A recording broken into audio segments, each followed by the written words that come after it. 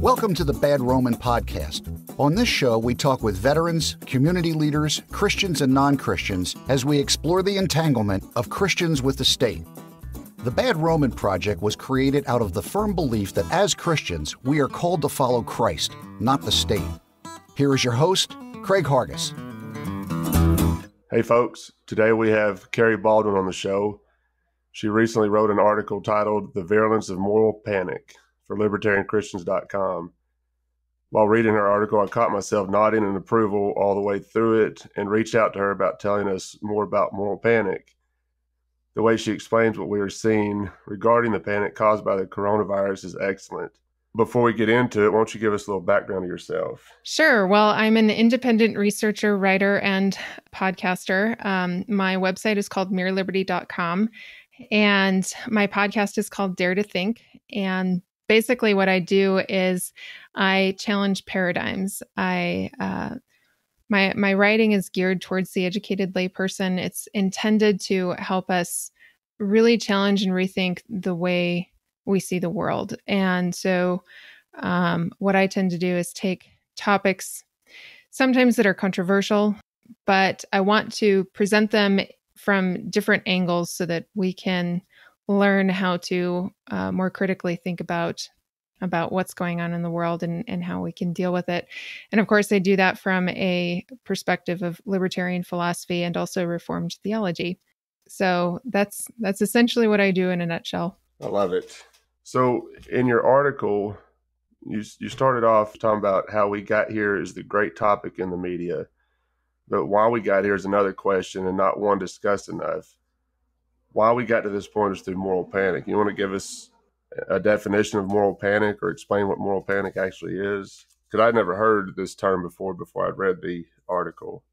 Sure, yeah. Um, and just to be clear, I'm not a trained psychologist. My degree is in philosophy, um, but I really love researching. And so I actually came across this idea um, from an article written by a Dr. Scott A. Bonn uh, from Psychology Today. And he, he defines moral panic this way. He says moral panic has been defined as a situation in which public fears and state interventions greatly exceed the objective threat posed to society by a particular individual or group who is or are claimed to be responsible for creating the threat in the first place. Now, this isn't Dr. Bonn's idea either. Um, he actually, um, and if you go, if, if, you go to the article in the show notes, I cite uh, Dr. Bonn's paper or article, so you can get a little bit more history on on uh, what moral panic is. But basically, it's a concept from criminal psychology, and it's a tool. Moral panic is a tool that is used by certain groups of people to exploit um, fear or the natural self-defense mechanism that we all have uh, in our in our minds, which is fight or flight. And uh, what I noticed from this article and a couple of other articles is that one of our innate fears as human beings has to do with infection and disease. So the psychology of infection is is particularly powerful, and uh, that's what that's what drew me to the to the topic to begin with. You said that moral panic works to mani- manipulate the people on a mass scale. And I noticed when, before the panic of this virus really set in, I noticed uh, libertarians or anarchists trying to get out in front of it, you know, because you could, you could see it unfolding and how the state was going to respond to it. And one of the things that you point out in your article is the war on terrorism. So when 9 11 happened, I was all for giving up liberty for safety. I mean, I, I, admit that to this day. I know I was wrong now, but I think the same thing is happening now with people that are, are afraid of this virus. They're, they're they're seeking or they're looking for the state to fix this problem for us when they should be able to re- recognize that the state has no interest in our well being at all anyway. Mm-hmm. Now, do you see this getting any better, or do you think the panic's just going to get worse? I mean, because people are going to continue to, to watch mainstream media or listen to the government on all this. There's nothing, there's nothing that they're saying that is positive about this. We hear about how how bad it's getting. Well, I, I mean, all of this all of this is happening, yes, on a mass scale because you have uh, you have a very large group of people in America and really across the world who rely on certain outlets for their information, which is going to be your government channels, your media channels, that sort of thing. So, you know, the people uh, that I think are either coping well or, you know, seeing this from the angle of a government power grab or even, you know, just the collapse of, of the economy, what what those people are doing is just seeing this from a different angle and being able to say, okay, yes, we can actually take a global pandemic seriously and not sacrifice these other things. In order for for those people who haven't been thinking about these things to actually change their mind, that's that's sort of a different story. Um, and I think that what it's going to take is, first of all, people like us who who who maybe understand this from a different perspective, having some compassion for the fact that these people are actually reacting. Um, they're reacting from a normal psychology. Okay. So this is their fear is a normal reaction to an abnormal situation. And now that doesn't mean that they're acting uh, rationally, right? They the the drive to um, have the state take care of us isn't necessarily rational, especially in the grand scheme of things when we can see throughout history that uh, crises are usually the point at which um, you know governments go in and take advantage and and up their their power. Uh, you know, in, instead it's it's a matter of teaching people to see things from a different angle, uh, acknowledging their fear, acknowledging that there's a good reason for it, right? There's we we have a legitimate fear of of infection. Um, but talking about it and and reasoning through it.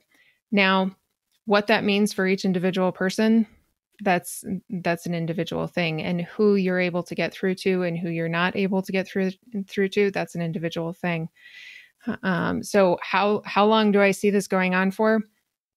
Uh, that's really hard to say. I mean, if we look at the the war on terrorism, I mean, how many times did that thing officially end and it's still not ended? but at the same time, you have people who have either grown accustomed to their lack of freedom as a result, or it just sort of became a non issue. It, it's not a forefront sort of topic anymore. And so I imagine that what's going to happen is you know the the rates of infection will will uh, decrease because we're we're going to be coming out of cold and flu season, and the rates of death will inc- uh, decrease just because if people aren't getting sick from the virus, they're not having complications from it and not dying from it, or as many of them, anyways. And then it'll become a non-issue. But the things that will hang around are all of these quote unquote protective measures from from governments who have now, you know, uh, really harmed our economy. I don't know to what extent yet, but really harmed our economy and have, uh, you know, run roughshod over over our freedoms. So when it's going to end, I who knows. Yeah, I think that's probably my biggest fear with all this is you saw it with, you know, after 9/11 and Americans were wanting more and more government to protect us. Mm-hmm. And now, 20 years later, we're still in this war on terrorism.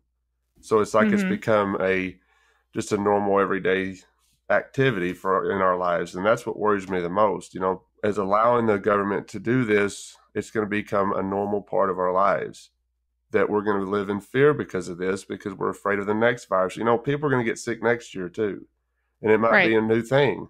It might be a right. new strand of the coronavirus, or it might be a whole different virus. We're going to experience this every year, and I'm trying with all that I had to just stay level headed and not get completely frustrated with people. But, you know, just in conversation, I, I talked to a guy at work the other day, and he's all saying that we have to force people into their homes. You know, they mm-hmm. made us essential employees at work, and we're going to work seven days a week. Yeah. I said, so are we going to force us into our homes? How are we going to pay for put food on the table? You know, I read something yesterday that 10 million people have lost their jobs in two weeks. Yeah. Since it started. That's yeah. insanity. And they're they're predicting this to be worse than the Great Depression as far as unemployment rates. Right. Well, and so one of the there's a couple of ways that that I've sort of gone about talking about this and the first thing is is to talk about what coronavirus actually is. Now, um, before I got into philosophy, uh, my uh, my previous profession was in medical lab science. I was uh, a medical laboratory technician in the United States Air Force, and um, I absolutely love the job and really appreciate the education that I received from that. Um, and I actually pulled out one of my old my old study books that I used to uh, to get my uh, my MLT certification with, and I looked up the information on virology. So this book was published in 1997. Granted, it doesn't have you know new research in it, but it defines what coronaviruses are. And coronavirus is just a reference to the structure of the of the particular virus. But coronaviruses are the second most common cause of the common cold. And every year that we that we have cold and flu season, you always hear people say things like, man, that bug going around this year is just really awful. Oh, yeah, we got it this time and it was just, we were sick for weeks. Like we have those conversations every single year so you know i try to put this in perspective i don't want to i don't want to simply say oh this is just another cold because each each strain is different i mean the other interesting thing about coronavirus is it's an RNA virus, which just means that it changes more frequently than a DNA virus does. But that's normal. Like we have many different strains of coronaviruses that are out there and they all cause, or most of them cause, upper respiratory infection. And there are definitely people who are vulnerable to upper respiratory infection and, and should take precautions. But we don't need to shut down the economy just because there's a new strain, because every season there's a new strain.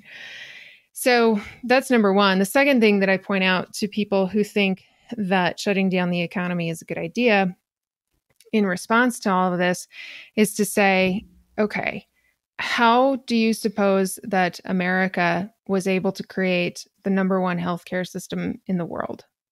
We did that through the market. And what is the market? The market isn't, you know, mathematical equations and algorithms and and uh, profit and loss and and that sort of thing. Although you know that's entailed in it, but what it is is it's people. It's you know the market is you and I. It's uh, us voluntarily acting towards a mutually beneficial end.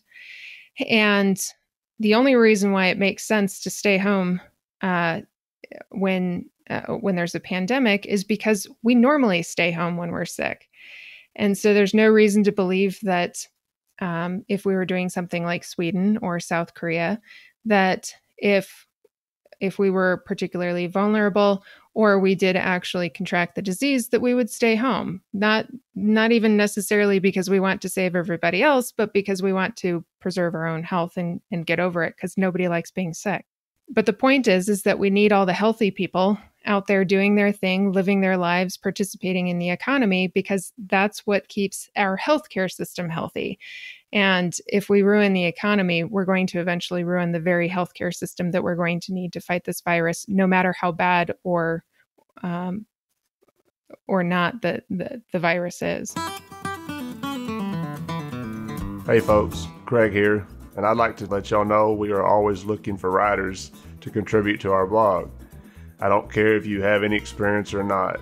Two or three of our contributors had no prior experience writing, and it turns out they have a real knack for it. Our project coordinator helps them put the articles together, and she publishes them on our website and Facebook page. And you will also have the option to come on the show and go more in depth about your article. So if you like what we're doing at the Bad Roman and would like to try your hand at writing, then send us an email at the Bad Roman Podcast at gmail.com. We're having a blast with this project and we would love for you to join us in helping promote it. Now back to the show. so when since all this started, I've, I've I don't can't count on both hands how many times I've been called a conspiracy theorist. Let me put my tinfoil hat on for a second. Do you do you see this? And I don't I don't I don't the term conspiracy theorist bothers me too because it's just you know questioning the the actions of known liars in my opinion. But do you see this? And I was talking to a guy at work. Do you see this as some sort of social experiment by the government? And if, if so, if it is a social experiment, it is working out perfectly for them for future pandemics or future wars or, or the next thing that people are going to be afraid of. Well, I'm going I'm going to answer that question this way. Um, way back after 9/11, uh, I started watching Alex Jones. And I had to stop watching Alex Jones because he was way too too tinfoil hat for me. Mm-hmm. There's um there is so much that is outside of our control that's it's not probably not worth speculating on. And we can run ourselves into a tizzy uh with with conspiracy theories which may end up being true, but they're outside of our control. So, uh, you know, do I think that this is a large social experiment? No. Uh, do I think that there are malicious players who are taking advantage of a crisis, like you know what Rahm Emanuel has openly said? Yes, I do think that there are malicious actors who are taking advantage of the situation. To what degree, I don't know. But at the same time, that's nothing new. There's always been malicious actors who take advantage of, of crisis situations. So, you know, the whole point is that human beings are adaptable. Even the market can can adapt to what's going on. The biggest thing that's in our way the biggest non-essential business that's in our way is the government. And that's not helping. We can deal with a pandemic. We can deal with the economy if the government steps out of our way. And right now they're not only in our way but they are using a heightened um, amount of violence to make that happen and that's a huge problem yeah, at the this has given anarchists and voluntarists a, a, great opportunity to show how voluntary society could work, mm-hmm. in my opinion. And I, I, guy I work with, he's a self-proclaimed socialist, and he came. to, He was coming up to me yesterday. He's talking about uh, handheld respirators that you, you know, pretty much pump yourself. Mm-hmm. I guess manual. I, I, haven't heard anything, but he said I'm going to research how to do this, and maybe I could make some and, and sell them yeah. And another guy was telling me about his daughter made some masks that has been approved by this place, I guess some doctor's office, that she's going to be selling this to this doctor's office. And the government's not involved in any of this. And I pointed it out to him. I said, what you're talking about is is a great example of how voluntary society would work. We can handle all mm-hmm. of this on our own. Yeah. If government is involved with all this, they're just going to make it worse. Right. There's it's been proven time and again. Everything they touch, they screw up. Right. So it, I think I think as as we could we should we should be. I don't I don't want to use the word glad that this is happening, but it gives us a real opportunity to show yes how this how we could handle this on our own without government overreach. Yes. Um. Yeah. Yeah. There was there was a story that came out uh, shortly after uh, COVID 19 hit America about some company that had started 3D printing ventilators and they were sued.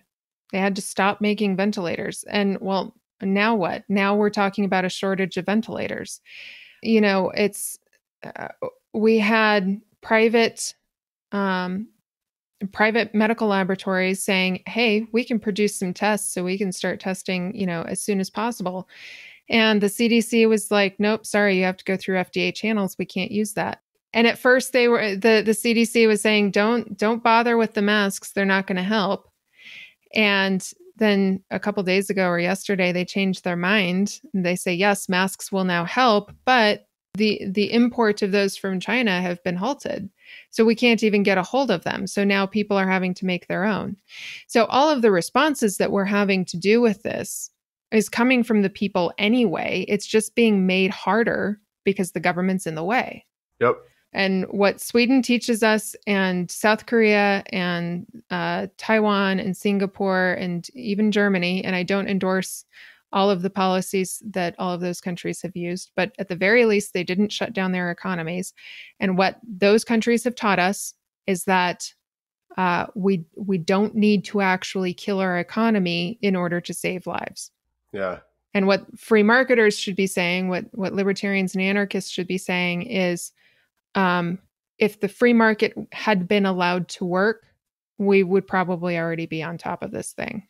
Yeah, that's one thing that's funny because when when people tell me that, that people should be forced into their homes, even if they're healthy, I'm thinking, man, the fact that that they think that we need to force people into their homes doesn't make any sense to me. None of everything that's going on right now is, is just boggling my mind. Mm-hmm. I don't think I've ever, I don't know that if you have, but I don't think I've ever seen anything like this in my lifetime, you know, to the, to the, the, the panic point of it.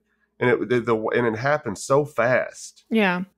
You know, it was, it wasn't like a slow progression to the panic that we got. I mean, you, it's all they're talking about on, on, on mainstream media. I try to tune it out. So one of one of the uh, factors in a moral panic is the news media, and they are able to uh, drive the narrative in two in, in two ways. First of all, you have the framing of the message, and and that's just how they're presenting it. So it can be anything from uh, just reporting rates of infection, for example, and making making that the thing to be afraid of is the rate of infection.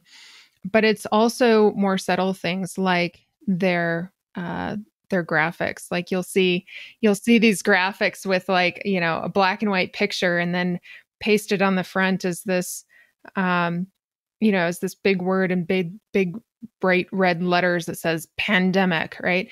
And yes. big scary letters. But that yeah. yes it, and well, and the music too that they're playing behind it too. It's like watching a horror flick or something. I'm like, yeah.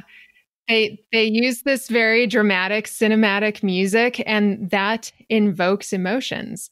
Uh, those all have effects on our brain, and they're very subtle, but they do have have real effects. the The other thing that they do, that the media does, is uh, priming. So, what priming is is where they actually exploit our normal our norm our normal heuristics our normal ways of, of thinking about the world and so you know this can be anything from you know triggering that very innate sense that we need to protect ourselves from viruses because that's an age old enemy for human beings um, and that can be triggered by a number of things like watching Dustin Hoffman's Outbreak or the new movie Contagion or whatever.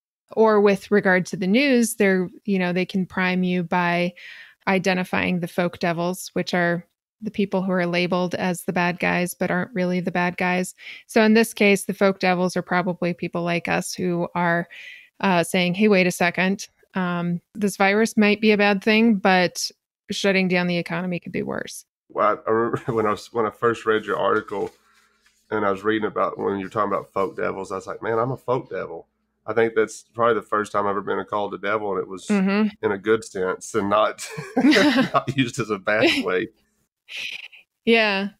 Well, and and they'll, you know, who are other folk devils? Oh, well, those are the people who are going out to the store for for quote unquote non-essential reasons. It's like really you know what's going on in that person's head and and you think that they're out for something non-essential just because you've got all of your essentials at home. Um, we recently had a public address by our governor here in New Mexico, and she says to us, she she says to us, uh, New Mexico is doing a great job in flattening our curve. It's it's really starting to flatten out, and we're really, you know, thank you New Mexico for for staying at home and doing all this this stuff.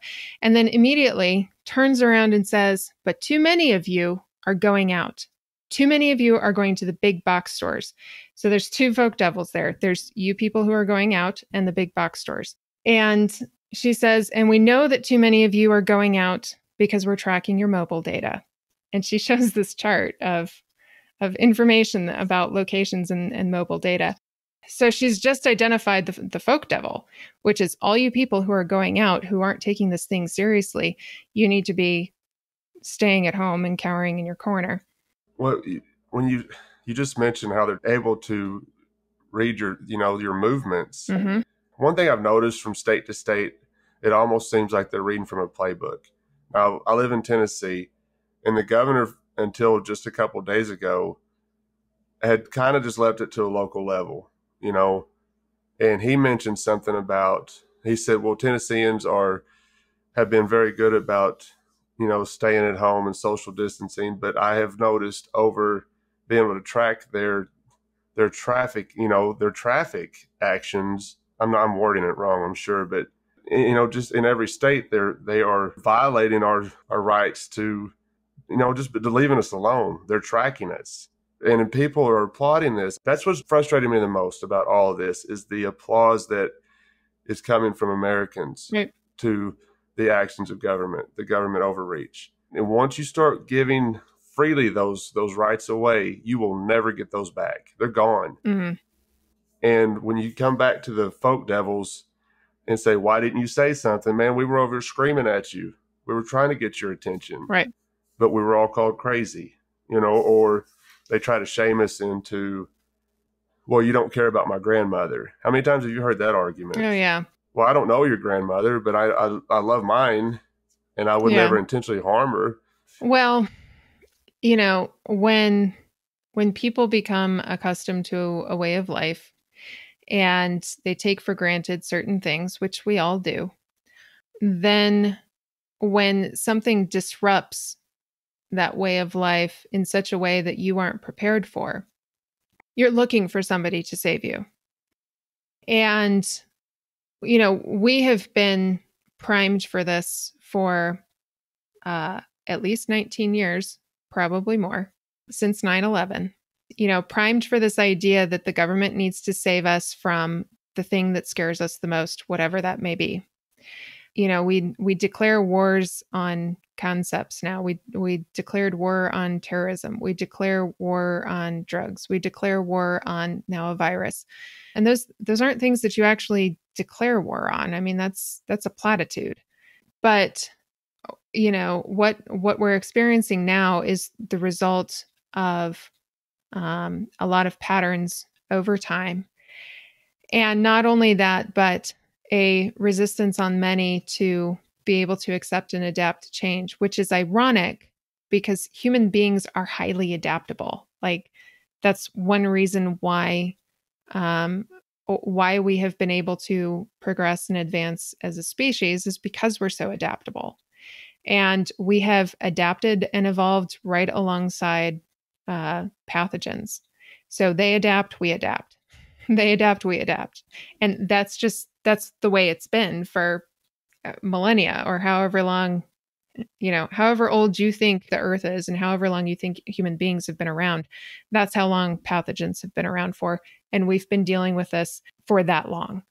So this is nothing new in the grand scheme of human history but it's new in our frame of reference because we have uh, grown accustomed to the healthcare system through the market being able to handle and and provide when these things happen but part of the moral panic part of that moral panic concept is that the media is now talking about it more they're putting it front and center in your mind's eye and um, this is called the availability heuristic. Just because there's more information available to you, uh, it makes it seem like the salience of the issue is more pertinent than it actually is. And again, that's not to say that we need to downplay any threat from the virus because it, it could very well be um, a more, viru- more virulent and deadly strain than previous viruses. And that's okay what we would be saying as libertarians and anarchists is who's better equipped to handle that? It's not the government, and the government has proven that because they've blocked tests. They've they've um, you know they've stopped importing masks. They've they have been in the way each step of the way, whereas the market has been trying to respond and adapt, and the market does it pretty pretty quickly and efficiently. So we could even have a situation if this were a free market where we were voluntarily staying at home and voluntarily working from home where that was possible without other people who don't have that opportunity uh, losing their jobs and, you know, getting bullied and pushed around by by law enforcement who are just, you know, out there trying to make sure that you're not out there. All right. So in your article, you said to understand how moral panic works, we must understand the kinds of actors involved. Here are the five kinds of human actors in a moral panic. And, you, and we've already talked about folk devils. But there's also rule and law enforcers, the media, politicians, and the public. Mm-hmm. Now, you even talked about how the public are used as law enforcers. You know, like if you see something, say something type mentality. If you see people hanging out together, call the cops, and that's happening. That's absurd to me. If you see people having a conversation, I was on my way to work the other day and I saw people out walking their dogs, jogging, riding their bikes, kids flying kites, and people in their front yards, not within, not doing this social distancing. They were within six feet of each other, having a conversation with their neighbor. And I, you know, that makes me smile because to me, it's like, because I think at some point people are going to get sick of this and they're going to be like, all right, they're just going to tell the government to get bent. Yeah. You're not going to, you're not to rule over us like this. You're not going to, you're not to control our lives because we're, I don't think we've been free in this country for a very long time, if ever. But people have that mentality that we're a free country, and once they start realizing and waking up to this, they're not gonna they're not going to stand for it. And I'm afraid of way going to end. You know, I don't I don't I don't I don't want a war, but I'm afraid that if it could get to a point that people are going to start shooting each other over this. You know what I mean? Now, I, I fully believe that this coronavirus exists. I'm not one of those coronavirus deniers. It's it's people are sick. I understand that, and I'm sad for them but the the panic that is spread is to me is far worse than this virus. You know, people have die every year of different things, every day of different things. But the focus on this is is is going to make people crazy. They, the the suicide rate in Tennessee has gone up because they don't know when their next paycheck is coming. To me, that's far worse than this virus. Yeah, well, and we we tend to we tend to not realize the number of factors that go into our own health and well-being. You know, God created us with an immune system and and he did that for a reason because you have these microscopic pathogens that that we can't see, right? And you can't you can't use normal weapons against. So we have this built-in immune system and that immune system has to be trained. So the more that you come in contact with the disease, the stronger that it gets. And you know, we tend to to think that the immune system is all about antigens and antibodies and and you know white blood cells and things like that. And that is certainly part of it, but other aspects of our uh, immune function are from mental health. And so, if we're going to actually prepare ourselves and be ready to come in contact with a new pathogen, you know we need to we need to be in good mental health. We need to um, be exercising. We need to be outside. We need to we need to recognize that there is a holistic approach to health and well-being. And it's not simply about uh, trying to keep from from being infected by it. In fact that's probably one of the worst things that could happen. You have sweden right now who is not shut down. Uh, um, they're going to be uh, a great case study for figure for for being able to see if what solved our problem in the United States was the shutdown or not, was the government intervening. I think we'll be able to compare with Sweden and South Korea and some of the other countries that, that didn't shut down. I mean, I liked sitting at home by myself a lot, to be honest with you. I, I have no problem with that. But when you start making me do it, or if I have, if I don't have the option of going outside and getting some sunlight, I'm going to go stir crazy. Mental health is really important. In fact, because you know, a lot of people have talked about various dystopian uh, novels being relevant to today. That one of the most uh, relevant dystopian novels, and actually it's just a novella, it's a very short story, um, is called The Yellow Wallpaper. And it's actually based on a true story of a woman's experience being told that she was too sick to go outside. And this was by her husband, who also happened to be a doctor and it drove her insane. And the story is about how she tried to rationalize her having to stay at home for her own sake because she was too weak and vulnerable and she went insane and um, so I I do think that we need to take the psychological uh, aspect very seriously, the mental health aspect very seriously. Um, I think it explains a lot of why we're reacting the way that we're reacting, um, but also where we need to look for solutions because the solutions aren't going to come from those methods that prove to uh, produce insanity in people.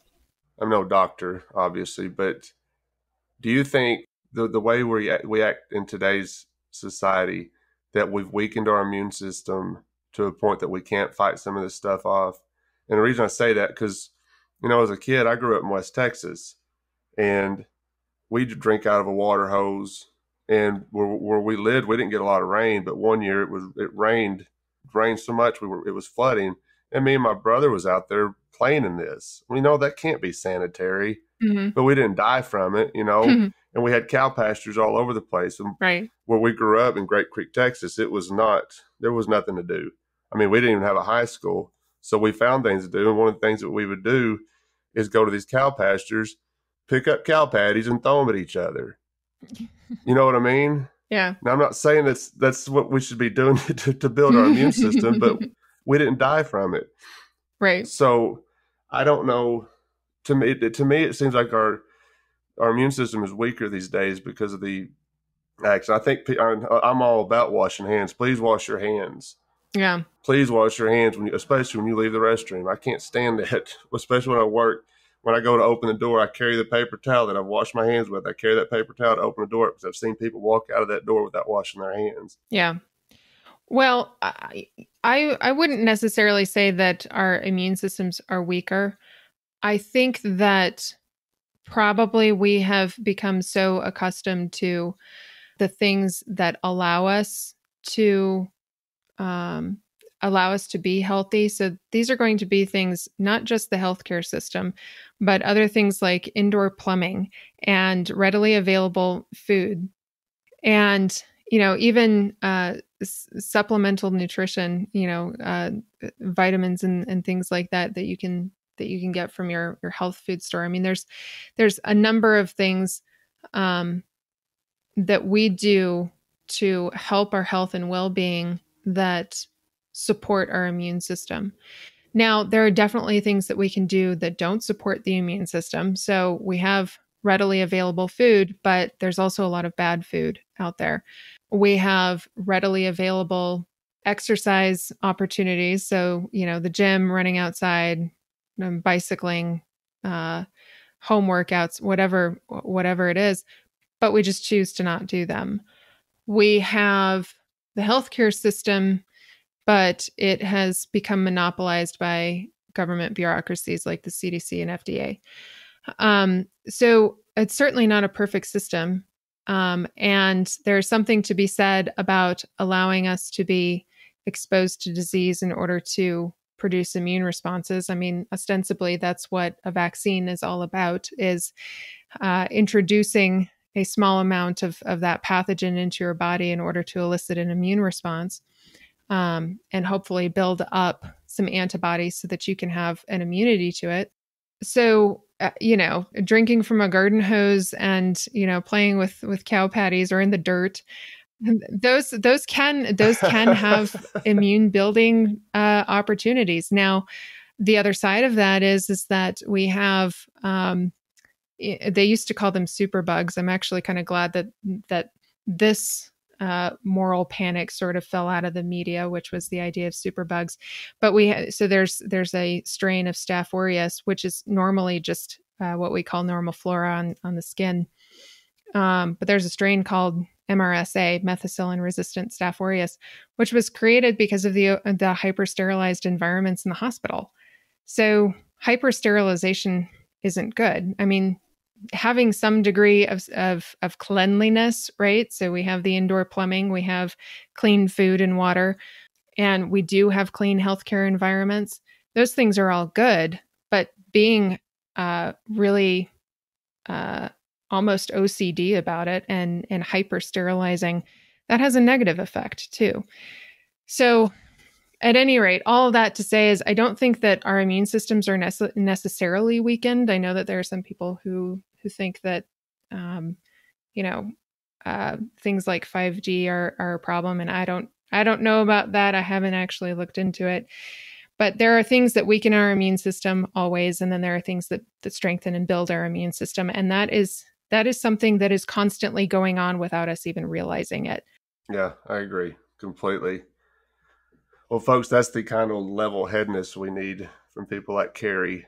I really appreciate you coming on. Won't you uh, plug your plug your stuff and then I'll let you get back to your your day. Sure, you can find all of my stuff on mereliberty.com. I'm also a, a contributor at the Libertarian Christian Institute. Um, I do do this for a living, so if you want to support what I do, you can go to mereliberty.com slash membership. It's a Patreon style uh, sort of membership, uh, with memberships starting as low as $4 a month or one time donations. I also take through my secured site. So if you want to support me, I'd greatly appreciate it. But you can find all of my stuff there. I have the podcast there, my articles, and and everything's there. Also, you can sign up for my free newsletter, which is just a monthly, usually article, unpublished article that that um, I send out to my newsletter readers. And my newsletter readers have the great benefit of being able to respond to those, and I will respond uh, back to my readers when when they ask me questions. Awesome. I hope we can do this again sometime, Kerry. Sure. Thanks for having me on, Craig.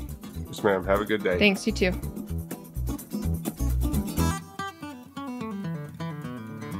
Thanks for joining us this week on the Bad Roman Podcast. You can subscribe to the show wherever podcasts are found. And if you like what you hear, be sure to leave us a rating, as it is the best way to help other people find us. 100% of donations to the show are given to local charities in Memphis, Tennessee. To learn more about this week's guest and how you can support the show, please visit thebadroman.com.